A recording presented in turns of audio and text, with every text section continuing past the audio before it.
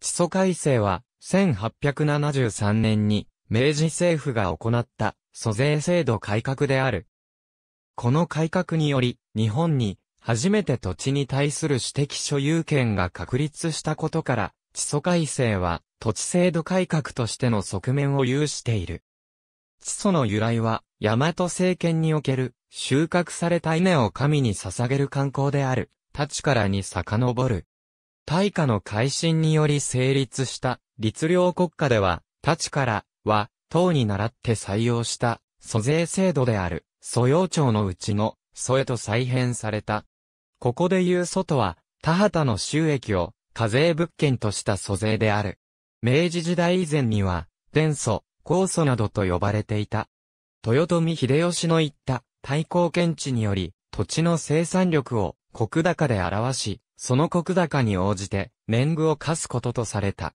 また、検地庁に土地の直接工作者を登録し、そのものを租税負担の責任者とした。地租は収穫量を今日でいう課税標準とし、直接に工作者である百姓から、その生産物をもって徴収された。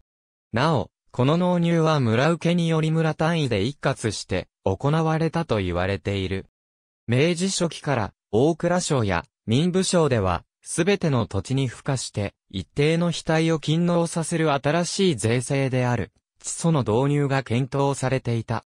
明治2年2月、陸奥宗光が、租税制度改革の憲白書を中央に提出し、土地等級制の確立、税制の統一、地租勤能を主張し、古来検地の通平を改正すべしとした。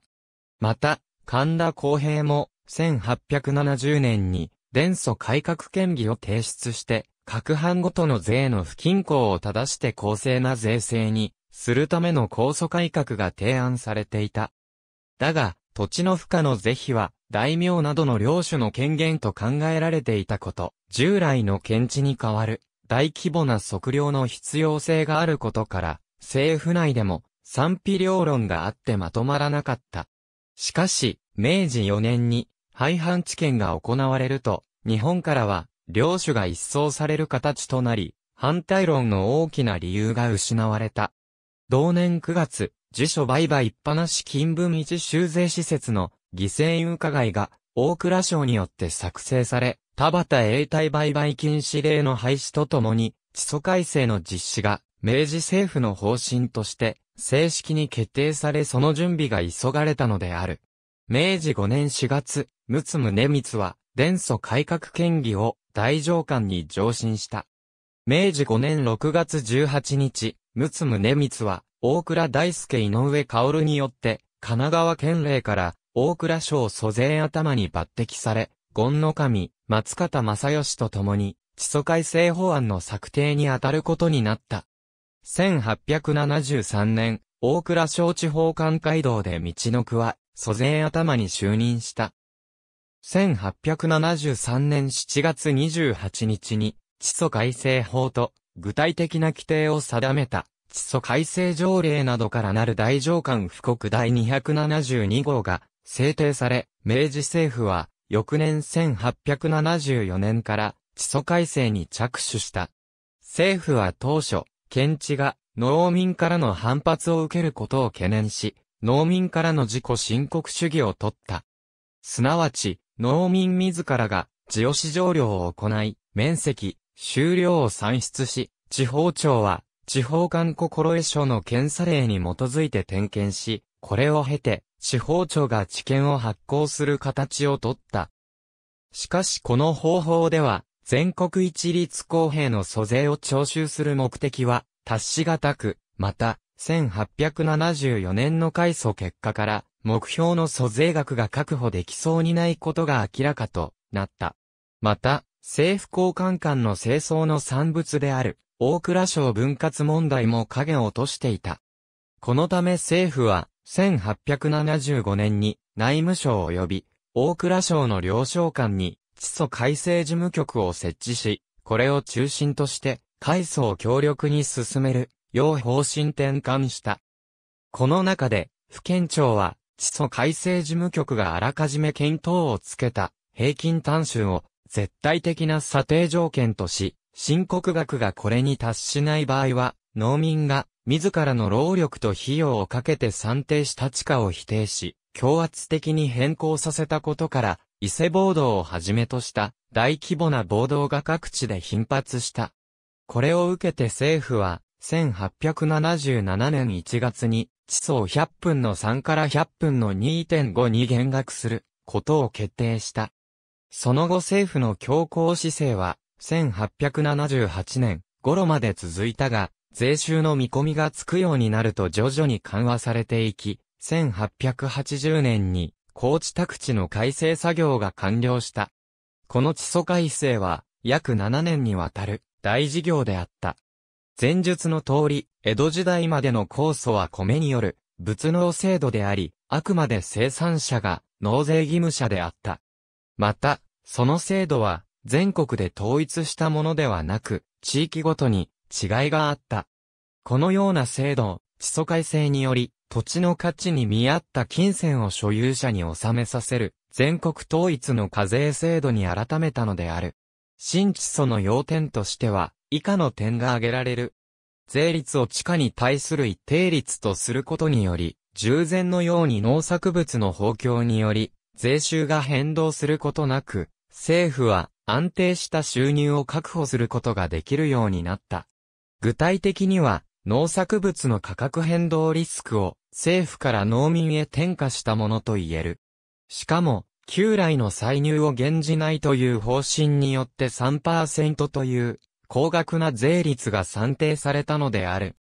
これは結果的には大多数の農民の負担を高めることにつながり、また土地の所有者がおらず納税が困難な入会地が事実上政府に没収されたことなどから、伊勢暴動、真壁暴動など一揆が頻発し、自由民権運動へ影響を与えた。このため、士族反乱と農民一揆の結合を恐れた大久保利道の意見で、前述の通り、1877年に税率が2.5%に引き下げられた。これにより、江戸時代に比べ平均2割程度の減税となった。江戸時代であれば収穫口に応じて年貢を納めていたので、仮に収穫が上がると、その分年貢も増えていた。しかし、地租の場合は納める税金は一定であるため、収穫を増やせば、その分は自分の取り分となった。そのため、勤労意欲が湧くことになり、生産量が増加した。また、地租改正では、農民は自分で作る農作物を決められるようになった。従来は幕府や藩が決めた農作物しか作れないのが原則だったが、地租改正以降はその縛りがなくなった。農民は儲かりそうな作物、見入りが良さそうな作物を自由に選択することができるようになった。知見の発行により、個人に対する土地の私的所有が認められることとなった。この結果、土地は天皇のものであり、臣民は天皇、または領主から、その使用を許されているに過ぎないと考える、高知公民思想や封建領主による、領主権や村などの地域共同体による、共同保有といった、封建制度的な土地保有形態が完全に崩壊し、土地にも保有者個人の所有権が存在することが、三世、一新法、根伝永年資材法、対抗検地以来、改めて法的に認められることになり、土地が個人の財産として、流通や担保の対象として扱われるようになった。これにより農民は、他の知見を手に入れ農地を拡大することができたし、逆に知見を売り払いたの職業に就くこともできた。その意味で、地租改正は日本における資本主義体制の確立を基礎づける重要な一歩であると言える。なお、地租改正に先立って、政府は1872年に田畑永代売買禁止令を解除して、すでに禁止が形骸化していた土地の売買の合法化を行い、1873年には、自書室入り書き入り規則及び動産不動産書、入金国貸借規則を定めて、土地を担保とした貸借も合法化した。地主を納税義務者とすることで、従来の村請負制度が消滅することとなった。また、地主を納税義務者とすることは、彼らに参政権を付与することを意味し、地主階級に対して一定の政治的な力を与えることになった。後に、帝国議会が開かれた時に、当初衆議院の選挙権や、貴族院の多額納税者議員の資格が与えられたのは、その多くがこうした地主層であった。従来の藩が租税として集めた米をまとめて、江戸や大阪の蔵屋敷を経由して、同地の米問屋に売却するという、これまでの米の流通システムが崩壊して、個々の農民が地元の米商人などに直接米を換金してその代金を地租として納め、地元の米商人が全国市場に米を売却するようになるなど、商業や流通に対する影響も大きかった。江戸時代の年貢の場合、その年の取れ高に応じて年貢率が決められており、年貢率を決める地域の役人は大きな権限を持っていた。そのため、増収賄などの不正行為が横行していた。地租改正以降は、毎年決まった金額の税金を納めるだけなので、悪徳役人の介在する余地はなくなった。また、商工業者には、年貢は課されていなかった。苗画金などはあったが、農民の年貢に比べればはるかに負担が軽かった。地租改正以降は、商工業者にも知見に応じて納めることになり、農民から見れば、相対的に税負担は軽くなった。地租改正は、すべての土地に課税されるものとし、以前に認められていた温床や自社料などに対する免税を否認した。これに先立って施行された解放令によって、エ地の指定を外されていたかつてのエタピニンの所有地も同様であった。入会地も課税対象となったが、税を共同体で支払うことができず、国有地に編入され、地域経済に大きな影響を与えることとなった。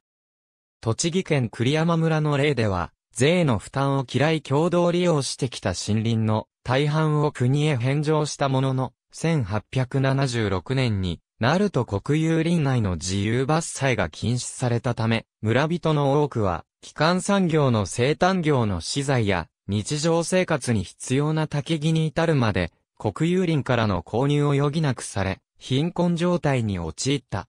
栗山村では、1952年までの長い間、森林は、村有地であったとして、国に対して、訴訟を続けることとなった。また、欧米の農村社会の仕組みをそのまま日本に想定したために、不都合な例も発生した。例えば、地租の算定における一般的な農家の経営の基準を商業生産的な家族経営による拡大再生産が行われている農家とし、また、地主と小作人は自由契約による小作関係によって成立しており、小作量の増減は地租の増減に対応することを前提として立法された。これは実際には生かさぬように殺さぬようにという発想で再生産が抑圧され、地主の地位が強力であった日本の農業社会の実態に合わず、また実際の地租算定においても生産経費を実際よりも低く見積もられたために、効率の税率も重なって地租が生産経費を圧迫し、小作量を跳ね上げる結果をもたらした。さらに、法令などにおいて、政府自身が、実は3%が効率であることを認めている部分がある。条文中に、現在の税率は、飲酒税、物品税などの商工業などからの収入が一定の軌道に乗るまでの暫定的な税率で、将来はそこからの歳入と財政支出の抑制によって地租依存度を減少させて、最終的には1%にまで引き下げると説明しているからである。だが、現実にはなかなか引き下げられなかった。ところが、後に、地租改正条例に代わって制定された、地租条例では、この規定が削除されてしまった。このことが自由民権運動や初期帝国議会における、激しい政府批判を招き、また地租に代わる財源として、酒造税の相次ぐ増税の一因となった。1879年発行の知見利面地租改正の際に行われた測量結果は知見に記され、この内容は知見台帳にまとめられた。知見は土地所有を交渉し、かつ、納税義務者を表示するものとされ、また土地売買の法的手段であるとされたことから、土地の流通及び土地金融はすべて知見により、行われることとなった。1885年の登記法成立後は、同規模が土地所有を交渉するものとされた。また、知見台帳自体も、1884年に創設された土地台帳制度に引き継がれ、1889年に事実上廃止されて、以後地租の修税はこの土地台帳によって行われた。さらに、土地台帳は登記簿と一元化されることで、1960年に廃止された。この時、土地台帳に記載されていた土地の表示に関する記載が、登記簿の表題部に移し記された。したがって、現在の土地登記は、元は、地租改正時に作成された知見及び、知見台帳に遡るものであると言える。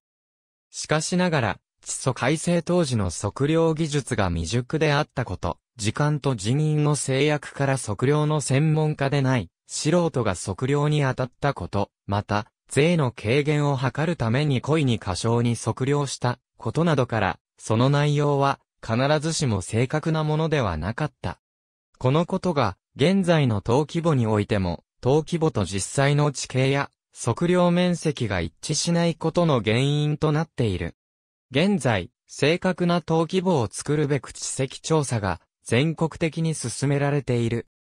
福島正夫、地租改正の研究贈呈版100ページ、有比較土地の所有者に知見を交付し、地価の3%を地租として勤納させる。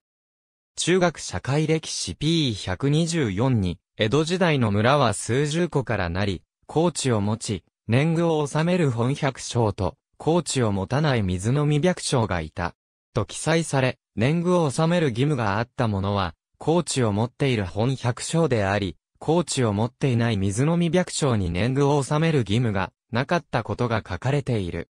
社会科中学生の歴史 P100 人にも、百姓身分のほとんどは、農民で、農地を持ち年貢を納める本百姓と、農地を持たない水の未百姓に分かれていました。と記載されている。なお、上記の教科書では、両方とも、地租改正のところの記述で、納税義務者が、工作者から土地所有者に変更された旨が書かれていない。それどころか、中学社会歴史 P189 では、また、小作人はこれまでと同様に、高い小作料を現物で地主に納めなければならなかった。と記載され、江戸時代の小作人に年貢を納める義務がなかったが、小作料を地主に納める義務があったことが書かれている。国へ返した孫有地祖願認められ実地検証へ、日本経済新聞昭和25年7月12日3面。ありがとうございます。